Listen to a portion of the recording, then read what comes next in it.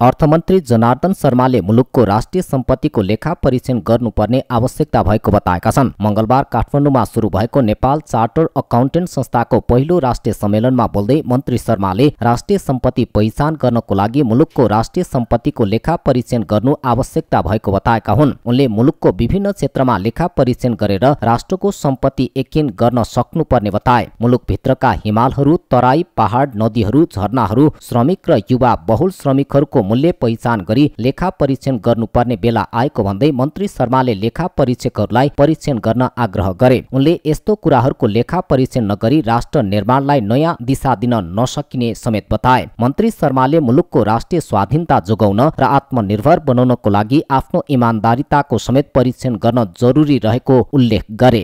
सम्पत्तिको अडिट गर्नु पर्ने आवश्यकता भएको हुनाले यहाँहरूको ध्यान त्यतातिर केन्द्रित गर्न चाहन्छु।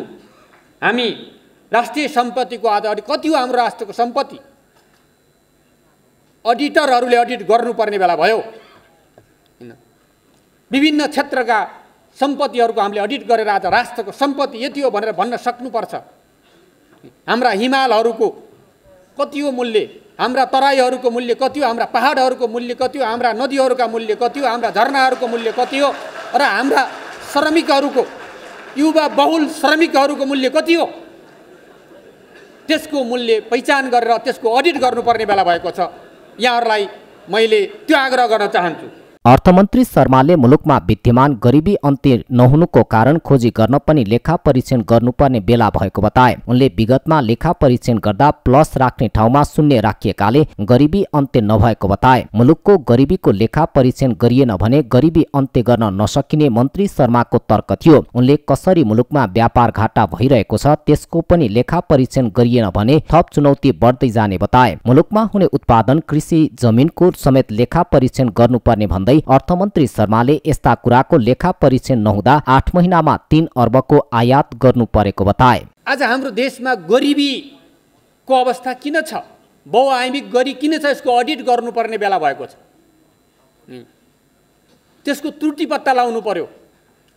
कहाँनिर पहिल प्लसमा माइनस भयो? कहाँनिर बिन्दु राख्ने क्रममा जिरो राखियो?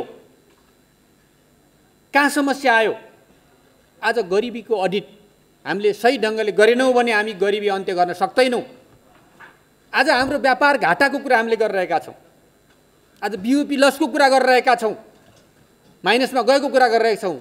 त्यसको अडिट गर्नुपर्ने बेला भएको छ। अर्थमन्त्री शर्माले विगतमा लेखा परीक्षणमा कहाँ कहाँ त्रुटि भएको छ त्यसको खोजी भइरहेको बताए। लेखा परीक्षकहरूले परीक्षण गर्दा भाग गर्ने चिन्ह प्रयोग गर्नुपर्ने स्थानमा गुणा गरियो भने ठुलो समस्या र चुनौती आउने भन्दै मन्त्री शर्माले इमान्दारिता जिम्मेवारी भएर लेखा परीक्षण गर्नुपर्ने बताए। उनले लेखा परीक्षण गर्ने परीक्षक व्यक्तिगत स्वार्थमा लाग्यो भने देशको अर्थतन्त्र वा समग्र प्रणालीमा नै असर पर्नेतर्फ सचेत गराए।